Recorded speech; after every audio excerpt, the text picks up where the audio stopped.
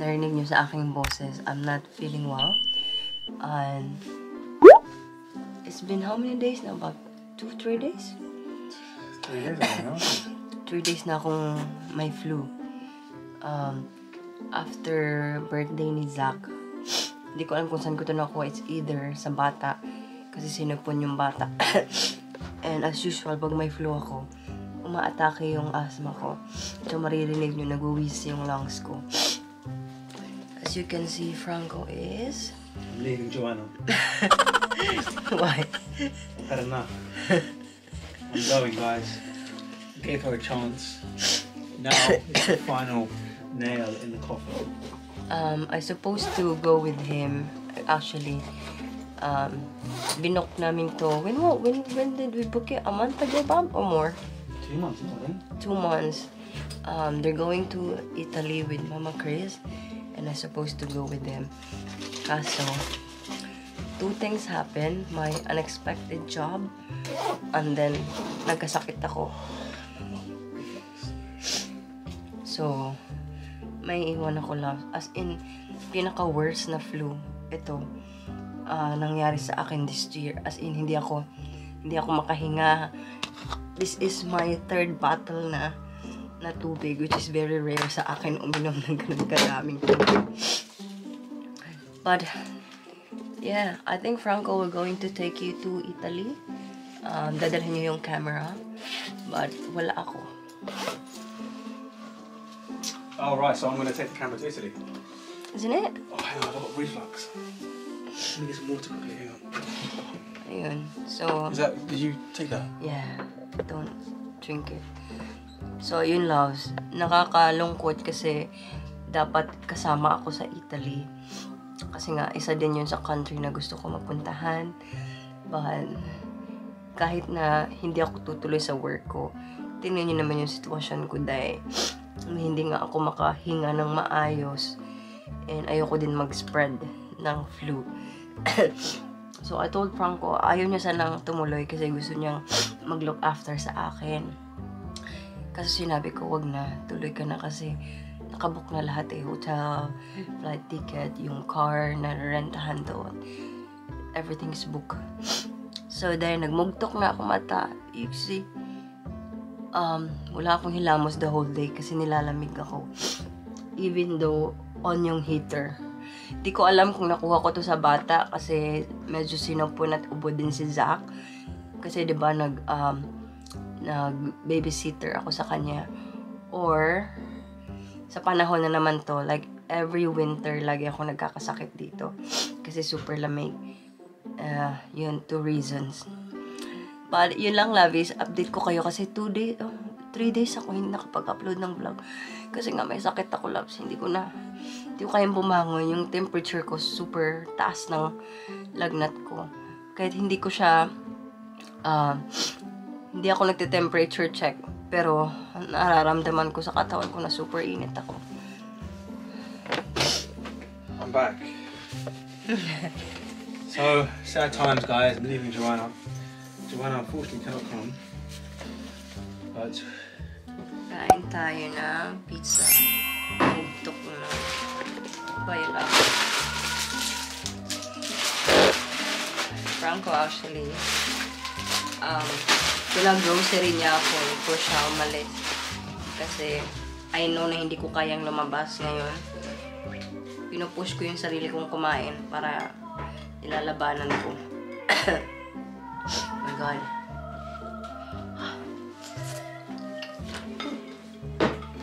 Mainit. We're away for now. Ha? Him for while. No, I can't. No, I'm coughing. Oh.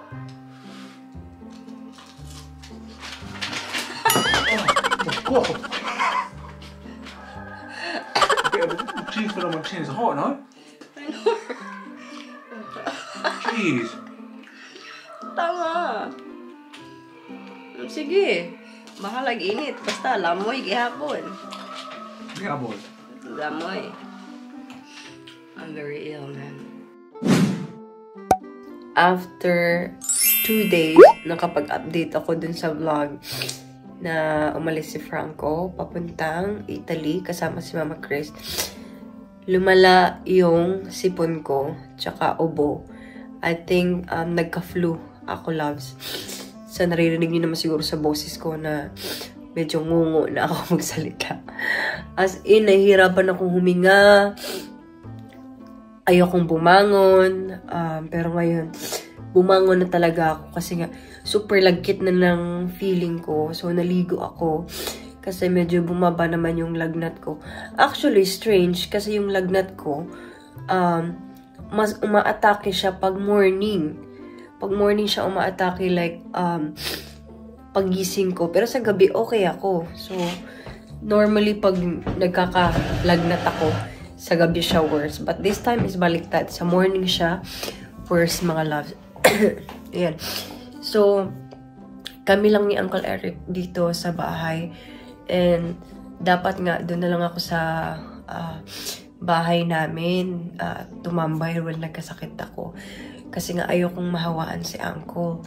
Kaso naman, uh, may training kasi ako sa Monday and wala si Franco kasi Tuesday siya babalik. So, sa Monday yung training ko. And kung magkukommute ako, malayo pag doon ako manggagaling sa bahay namin. So, ano lang, hindi ko na lang, hindi ko na lang nilalapit yung sarili ko kay Angko. So, pag may mga tinatouch ako sa banyo, nisprehan ko na lang ng alcohol para hindi siya mahawa dito sa aking flu. I feel better today, loves. Um, naligo ako. Ayan, nagmascara si Mom Shinyo.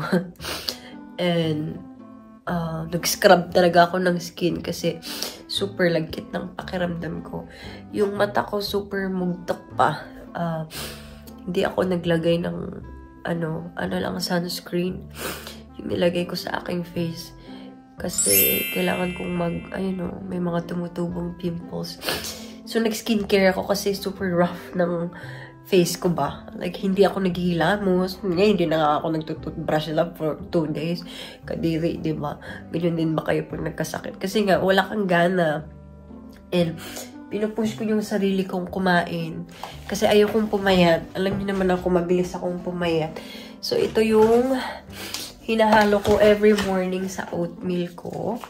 Uh, this is organic na palang greens It has 21 active ingredients, love. Ayan, this is from Free Soul. So, itong website na to, nakita ko, normally ito, yung owner ng um, product na to is, she also have Picos. And, kaya siya gumawa ng sarili niyang product. Kasi parang same situation sa akin na uh, sinasabihan lang siya ng doktor na mag-take ka lang ng pills, come back when you want to conceive. And she want to, um, she want to educate women na because it's not okay.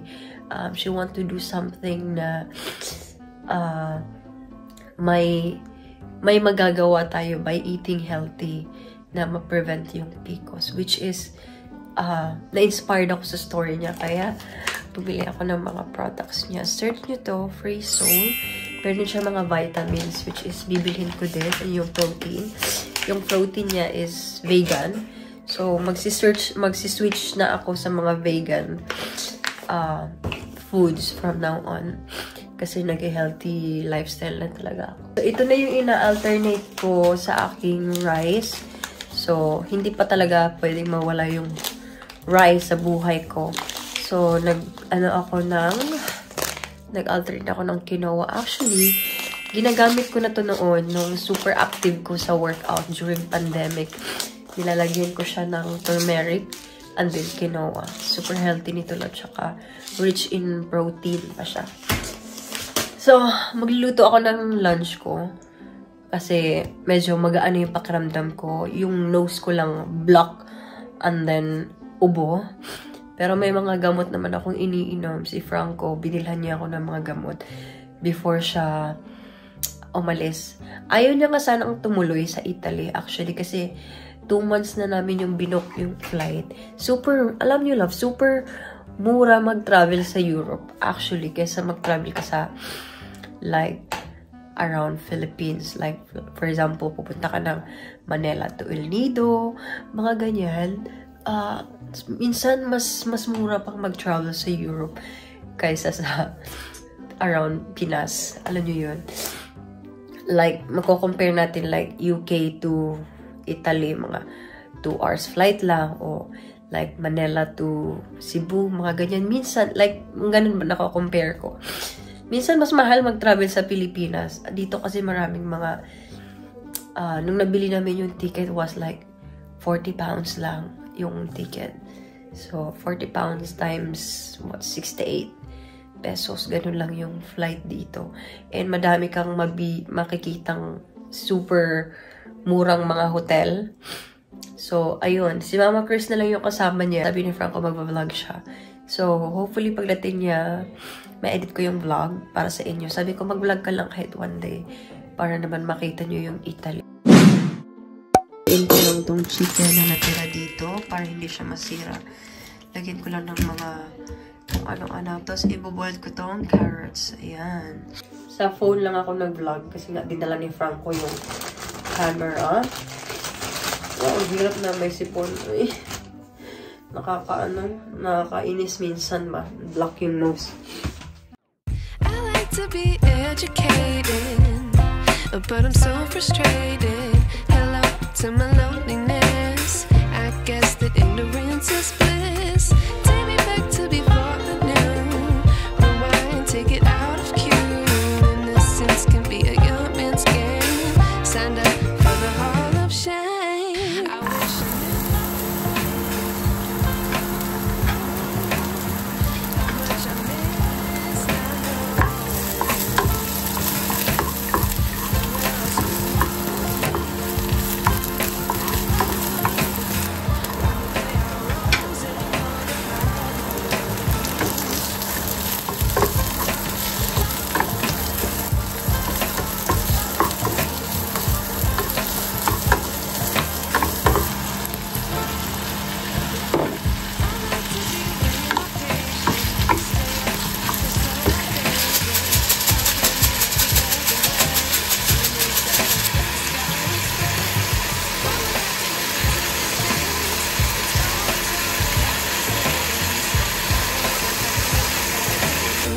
truth is hard to swallow. I think I'll chew it.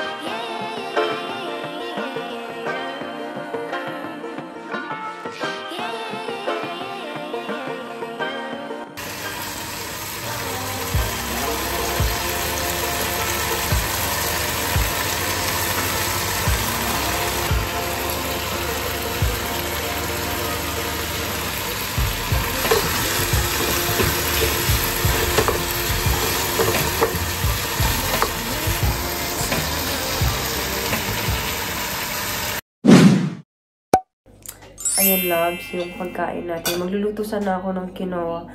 Kaso may rice na natira. Ayoko mapanis. Kakainin ko na lang. Then yung chicken. Tapos yung boiled na carrots. Kain tayo. Sarap ng chicken. Kahit simple lang yung pagkaluto ko.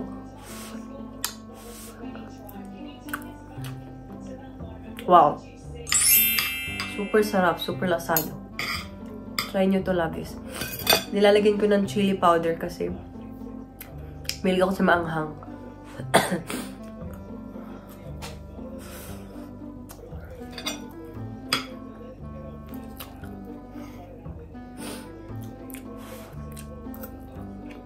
Hmm? Malaki na mapanis yung kanin. Sayang. Nalalasahan ko. Medyo papanis na siya. To be educated, but I'm so frustrated. Hello to my loneliness.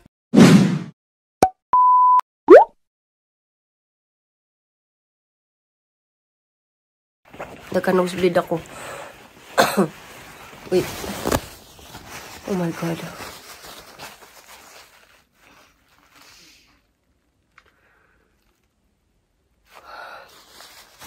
Shit.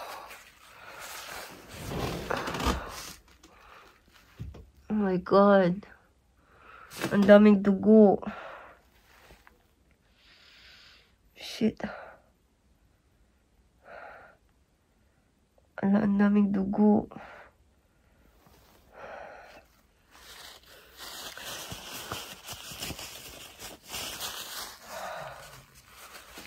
Bigla na lang. Actually, katawag ko si Liam eh. Tapos bigla na lang sabi ko pa yung sipon ko. Oh my God. Tingnan niyo.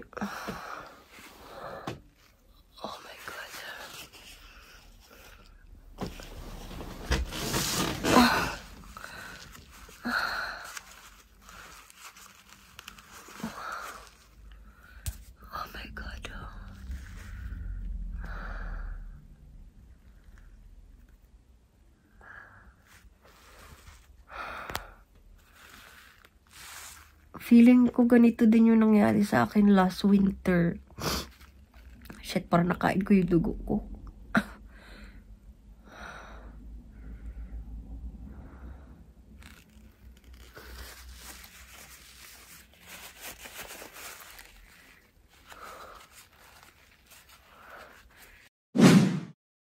After 20 minutes, nag-stop na yung bleeding ko.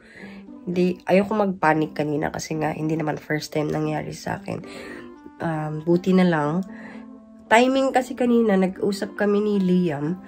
Tapos sabi ko, ano ba tong sipon ko? Uy, Ah, nagka-video call kami. Tapos sabi ko, ano ba tong sipon ko? Uy, super lala.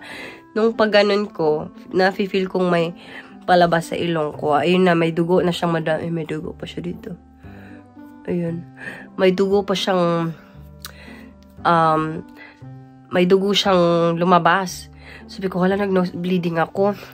So, inoff ko yung call namin ni Liam. si Liam na yung nataranta. Siya yung nataranta sa call. Kaya napa-video na lang ako kasi yun nga yung nangyayari sa akin. Hindi ko alam kung bakit ganon. Gusto ko lang di itanong sa inyo. Baka meron kayong alam or mga pinagdadaanan nyo to. Last year, naalala ko, winter time din, nagka-nosebleed ako. And also naalala ko nung flight attendant ako, first flight ko, nag-nosebleed din ako.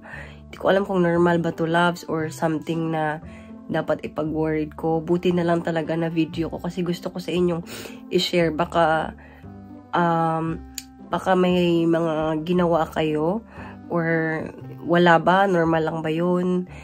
Baka kasi sa panahon lang. Let me know down below, loves. Please mag-comment kayo kung um, napagdaanan niyo yung mga ganon. Ako naman kasi, um, as a former cabin crew, may training kami sa first aid na mga basic. So, alam ko yung gagawin ko. So, ginanon ko lang talaga yung ulo ko para hindi mag-ano yung um, uh, yung dugo. Wait lang yung ate ko tumawag. Yun ko lang ma continue yung vlog kasi tumawag si ate kanina. Um, nag-send kasi ako sa kanya ng picture na nag-nosebleed ako kaya nag-worry siya. So, medyo okay na yung pakiramdam ko. Alam niyo ba kanina nung nag-nosebleed ako, after kung ano, mag punas ng dugo sa ilong ko, biglang umitim yung paningin ko and tinawagan ko na din si Franco. Um, sabi niya, pagbalik niya sa Tuesday, papa-check up kami kasi 'di ba last year nagka-nosebleed din ako para to make sure lang. And hindi naman ako high blood kasi naalala niyo nagpa-check up ako sa Pinas, 'di ba? And nag uh, kinunan din ako ng blood pressure nung nurse. So okay naman yung blood pressure ko. Wala namang hindi naman ako high blood. So I don't think uh, yan yung reason. Lang ako ng uh, mascara kasi maghihilamos na ako okay na ako. Hindi na masakit yung ulo or nagdilim yung paningin. Um, yun lang siguro, yung na-word ako nung nag-bleeding lang ako, bigla-bigla. Ano to cellphone ko eh. Hirap mag-vlog sa cellphone, dai. Ayan. Better. So, yun lang, loves. Uh, sabi ni Franco, magpapa-check up kami pag um, balik niya. Hindi ko alam kung bakit ako nang nosebleed, loves. Comment down below kung ano, kung naranasan nyo na din may mga ganyan. Hindi naman daw siya masyadong, I mean, hindi naman siya as in, wala naman siguro ako masyadong i-worry, di ba? Kasi parang, hindi naman masyadong ano yung nose bleeding. I'm not sure Ah, last year kasi na ano sa akin, di ba, nagka-nosebleed din ako sa birthday ni Max last year. So, si Franco, nag-aalala siya. Kailangan doon namin mag-check up just to make sure na okay ako. Di ba, lagi na lang ako nagpapa-check up. Hindi ko alam. Nagpa-vitamins naman ako. Kumakain naman ako ng gulay. So, hindi ko alam, loves. Baka kasi, ano, kakablow ko ng nose kasi may sipon. I'm not sure what's going on. But, ako din, na-worried din ako. Actually, na-worried din ako kung ano yung nangyayari sa aking katawan. I'm actually using the cleansing balm. Ayan, nagda-double cleanse ako, loves. Para matanggal talaga yung mga dirt. Although hindi ako nag-makeup today, but gusto ko lang mag skincare. O, oh, diba? Oh, okay pa ako, loves. Okay, nakapag skincare pa ako. The last two days talaga na hindi ako makabangon dahil as in, grabe. Kaya siguro nakita nyo, uh, wala akong upload for the last three days. Kasi, nagka-flu ako. Kaya, yung nangyari, actually, yung bedsheet kanina, super daming dugo ng bedsheet. And yung jacket na sinuot ko na gray kanina, may mga dugo-dugo din siya. Kasi, pag, pagbangon ko, as in talagang tumulo yung dugo agad. So, inano ko na, nilabhan ko agad yung bedsheet kasi ayokong manigas yung mga blood na hindi na siya matatanggal.